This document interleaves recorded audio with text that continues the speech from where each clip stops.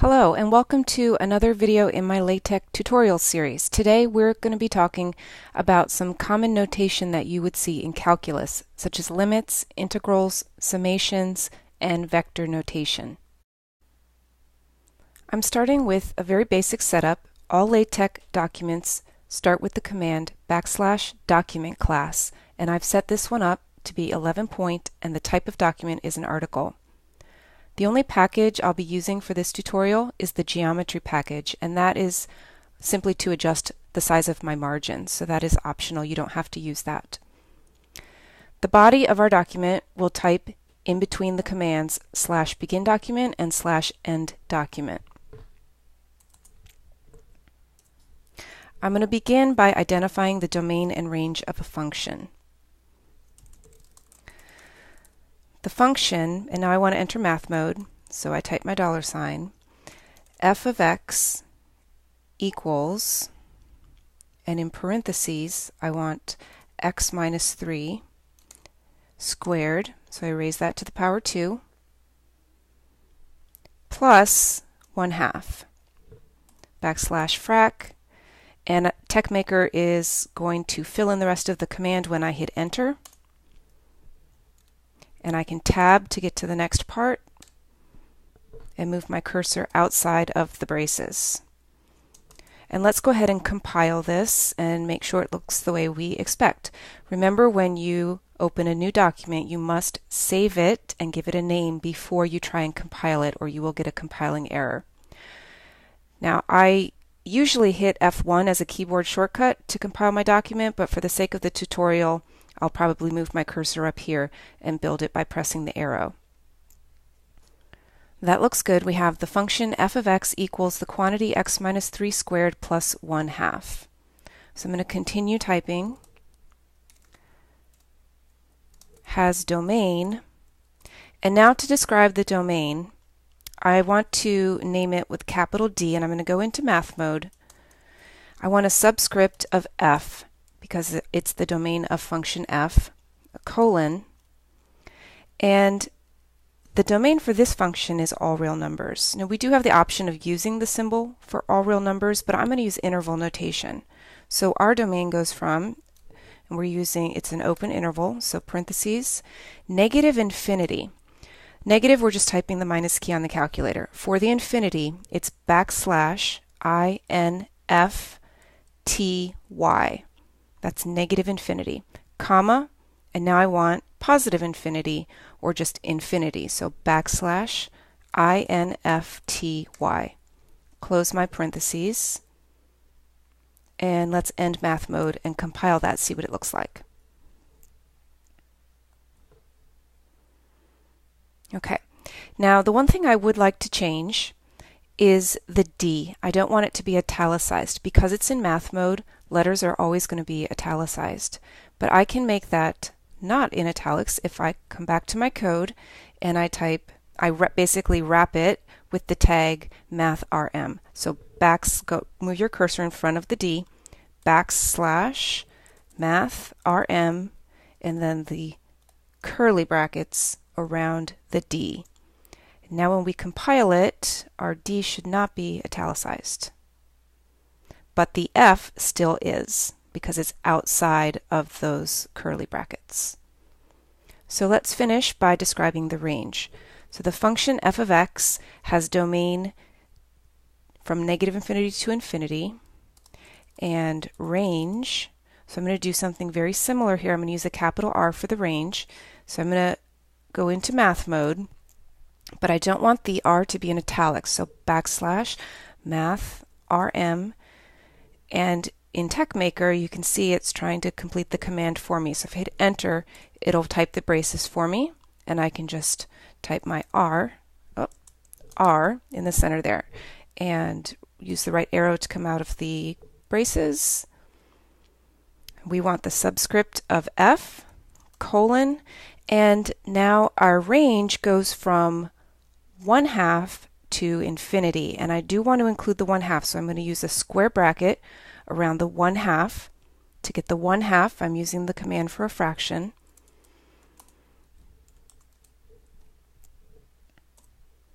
comma, infinity. So backslash infty, open parentheses, close math mode. Now let's typeset that and I have a, a feeling I'm not going to be happy with the way it looks. Let's try. Okay, so what I'm not happy about is the square bracket here is not large enough to surround the fraction 1 half. So I explained this in an earlier video on delimiters. But if we want to expand, automatically expand the size of the brackets or braces or parentheses, then we can change the command slightly. So I need to find where those where that bracket is. So right here, I'm going to put my cursor in front of it, and I'm going to type slash left. And that is going to expand, automatically fit that bracket to the size of what comes after it. And then the parentheses on the right, I also want to insert my cursor just before it and tap, type slash right. So if you use the slash left, then you have to balance it somewhere with a slash right. The compiler will be looking for that. Okay, so now we can see that both of those delimiters have expanded. The other thing I might want to do, notice that the 1 half is smaller than the 3. This has shrunk it to fit neatly on a line because it's in line. Um, if we wanted that to display at full size, we could go back and use the display style command.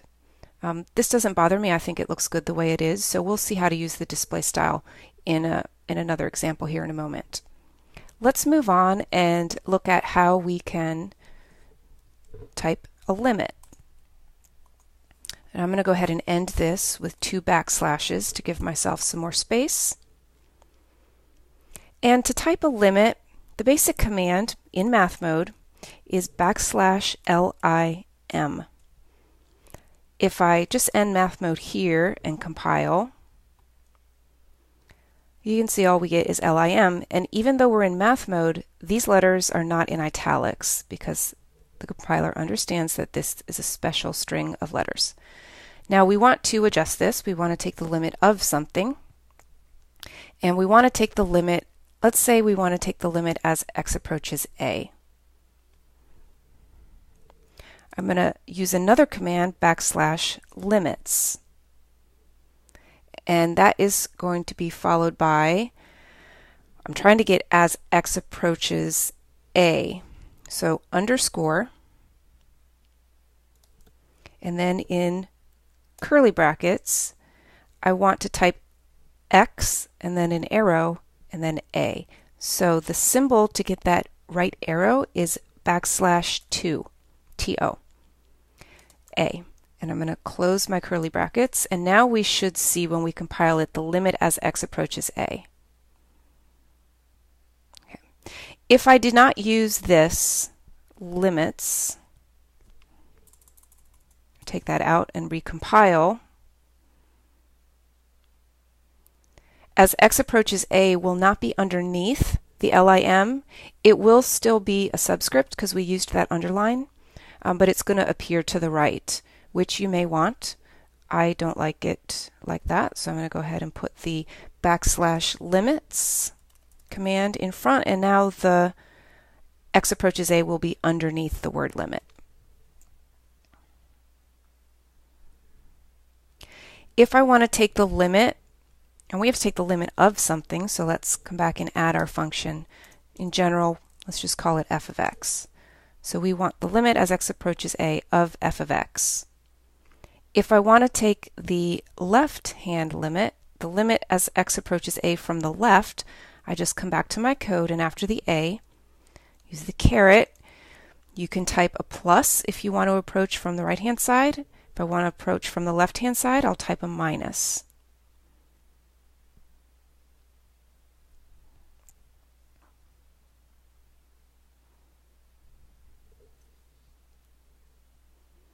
Okay, let's do one more example with limits.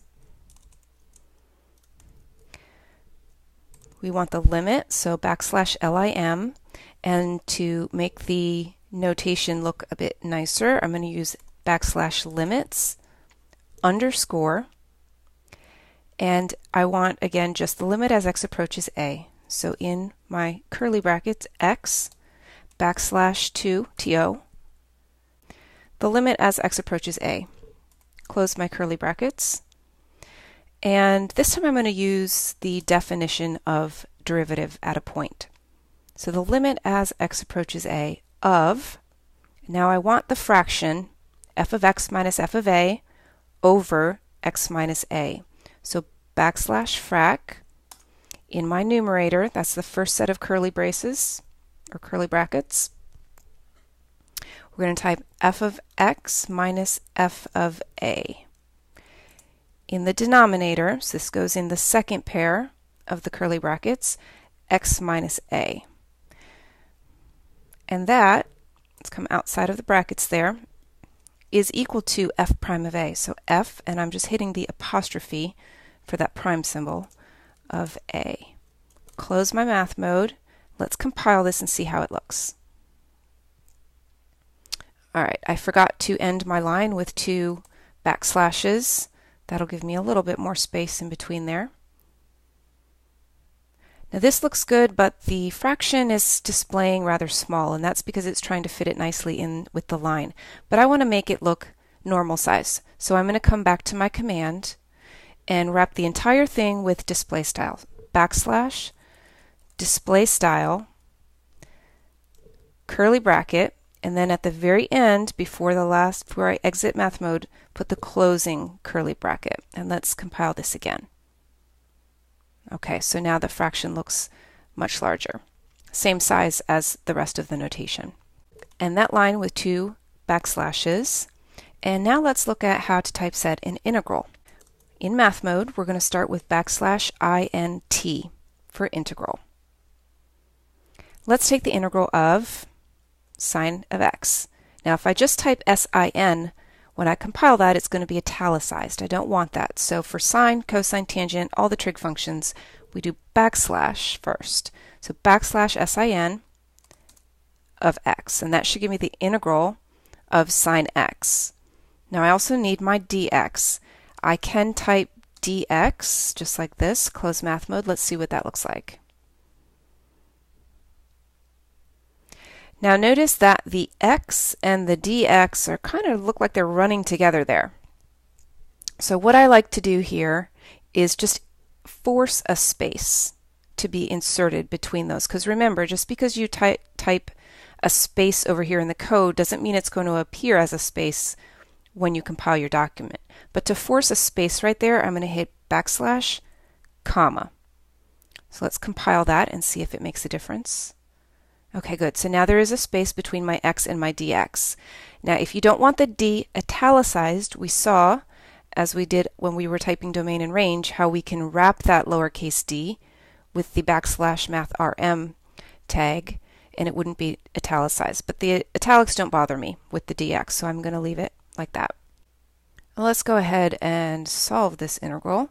So the integral of sine x dx equals negative cosine x, so I'm going to do backslash cosine x. Now let's talk about spacing for a moment. Over here, I left a space in between or in front of this slash sign. That's optional. Um, I didn't over here, but I did leave a space between the s and the x here. Otherwise, the compiler might get confused and think your command is backslash cos x all as one thing. So we want to separate that with a space. And let's not forget our plus C, very important. And we'll compile that. And there we go. If I want my integral sign to be longer, so when you see it in a textbook, you see it online, usually it doesn't look that short. And it's shrunk here to kind of make it fit in that line neatly. But we can expand that simply by using display style. So backslash display style, curly bracket, and then just before we end math mode, put the closing curly bracket.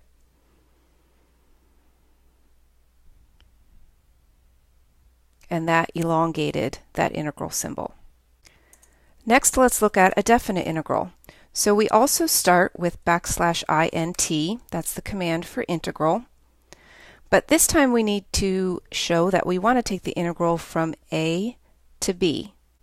Now I can simply use an underscore and type a caret b. Let me close math mode and see what that looks like. Okay, so that gives me the short integral, but it is going from a to b, and my lower limit and upper limit of integration appear to the right of the integral symbol.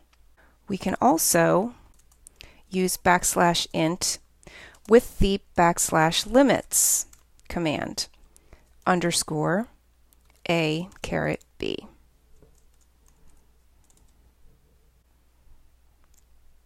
And now we have an integral where the a and the b are not to the right of the integral symbol, but they're above and below the symbol. So you can decide which one of those you prefer. If you want the integral symbol elongated, simply wrap it with display style. I'm going to just copy those last two commands and we'll see what they look with display style in front.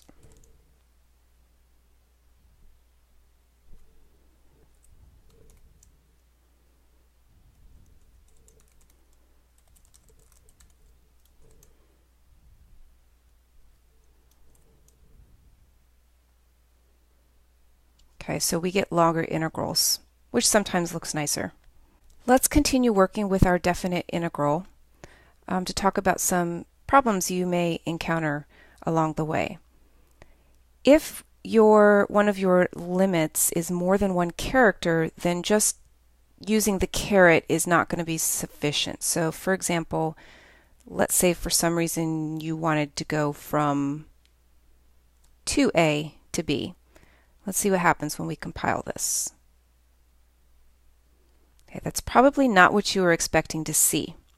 So the what we're going to do to fix this is after the underscore, the lower limit, you want to wrap that in braces or curly brackets. And then we can do the same for the upper limit. Now, if it's just a single character, it's not going to be a, a problem. But if you have more than one character, you will need to do that. So just to be on the safe side, you can always use the curly brackets, then you shouldn't run into any trouble there. So now we have our integral with the lower limit of 2a and the upper limit of b. Let's go back to just a and b. I'm going to keep the braces. Okay, now I'm moving my cursor in front of the last curly bracket because that goes with the display style command. So let's take the integral of something. Let's take the, the integral of x squared dx. And remember, I want to insert a space. Just typing a space is not going to insert a space when I compile this. So I'm going to use backslash comma dx. And we'll compile that make sure it looks good. So we have the integral of x squared dx from a to b. And that is equal to now there are a couple different notations you might see for evaluating a definite integral. I usually use the square brackets around the expression. So I'm going to type the square bracket for the left side. When we integrate this, the antiderivative for x squared is x cubed over 3. So I could write 1 third x cubed. I'm just going to go ahead and write x cubed over 3. So I want the fraction x cubed over 3. Because this is a definite integral, we need to input our lower limit and upper limit. So let me end with a square bracket. And then to get my limits on there, I'm going to use the underscore and then lower limit of A, caret, upper limit of B. So again, if it's a single character, you don't have to wrap it with the curly brackets. But to be on the safe side, we can go ahead and do that, just so you're familiar with the notation. Okay, now let's see what we what that looks like. Because I have a fraction, I have a feeling I'm not going to be happy with the brackets.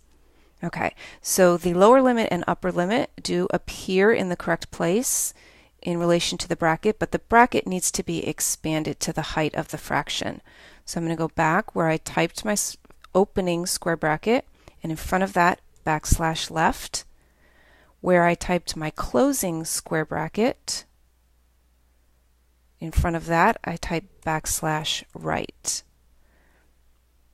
And we'll compile that, and that looks much better. And let's go ahead and finish evaluating our integral here. So that is equal to backslash fraction b cubed in the numerator over 3 in the denominator. And I need to move my cursor to the right so that I'm outside of that first fraction.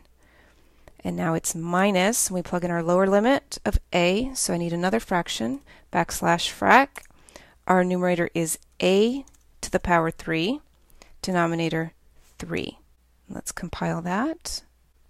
The next thing we're going to look at is summation notation. To get the capital sigma, we're going to use the command backslash sum. If I compile that, it's going to be pretty short. So usually that is written much larger than the text beside it. So we can make it larger using display style backslash display style curly bracket. We go to the end and put the closing curly bracket. If I compile that, now you can see the size is much larger. We want our sum to go from n equals 1 to infinity. I'm going to use backslash limits. So I'm going to use then an underscore and on the bottom I want n equals 1. That's not a single character so this time I have to use the curly brackets. n equals 1, close the curly brackets, use the caret and now we're going to type our upper bound.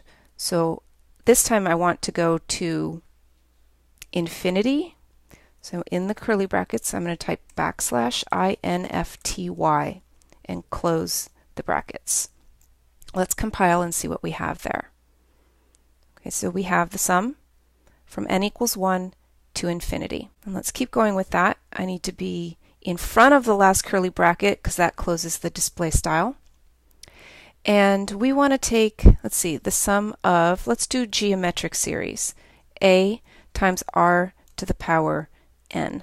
And that is equal to, let's go ahead and compile so we can see where we are. I'm going to go ahead and expand that sum.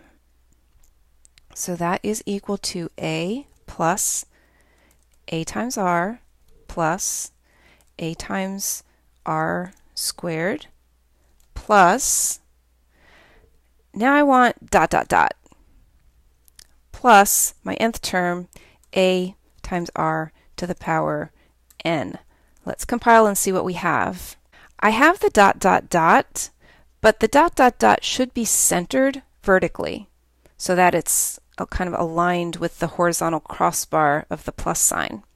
And instead of typing dot dot dot, there's a command for the three dots. I don't need to insert space between it, but just to keep the code nice and clean, I will. And that command is slash if you just want a single dot, it's C dot.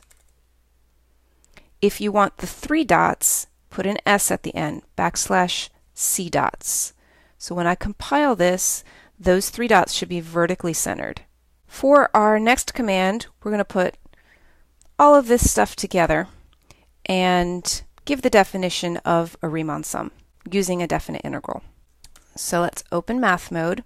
And the first thing I want to type is the definite integral of f of x from a to b.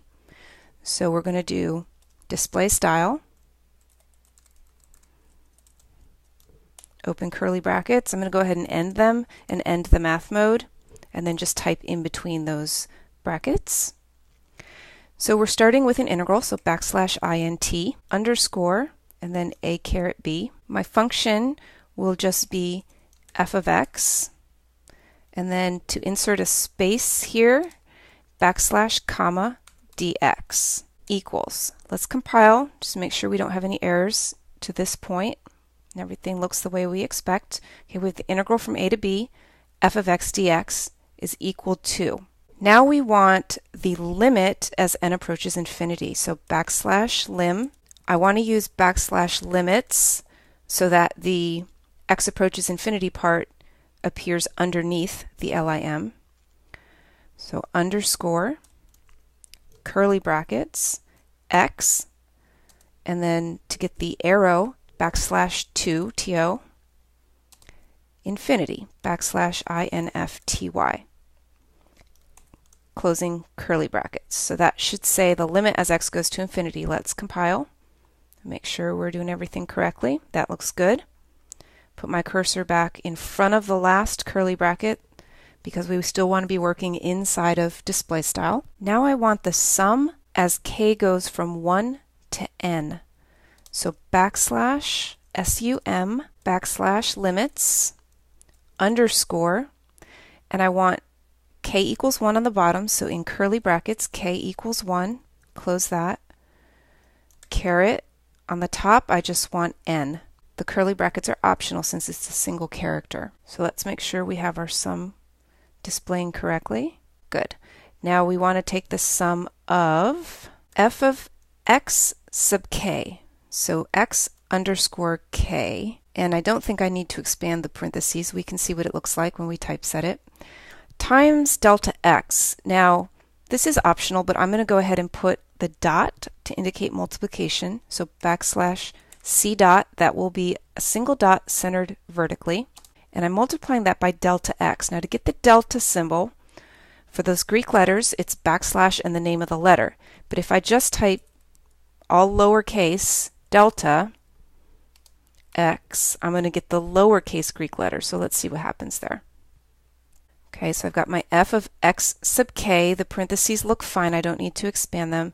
I've got my dot and that is not what I wanted to see for delta x. So the delta symbol, the triangle, is actually the capital letter in the Greek alphabet. So we're just going to go back and instead of lowercase d, it's backslash delta with an uppercase d. Let's compile that again. And now I have my delta x. We have one last thing to look at that you might run into in calculus notation, and that is vectors. So to get the vector symbol, it's simply backslash VEC. And then in curly brackets, what you want to put the symbol over. So I'm going to call this vector V. Vector V is equal to, and let's do the ij notation. So we have our first component, V sub 1, times vector i, so backslash VEC, vector i, plus v sub 2, so v underscore 2, times vector j, so backslash vec and j in the curly brackets. And that is equal to, if we want to write this in component form, I like to use angular brackets. So it would be for the left angular bracket, it's backslash L angle. And that's going to insert the bracket. So now we need our first component, v sub 1, comma, our second component, v sub 2, and then we want the closing bracket, the right angular bracket, so backslash r angle. And that should do it. Let's close math mode, compile, and see how that looks. And I forgot to put two backslashes earlier to give myself a little more vertical spacing. Okay, that looks good. So vector v equals v1 times vector i plus v sub 2 times vector j. We're in component form, just v1 comma v2 in the angular brackets. And that concludes this tutorial on calculus notation.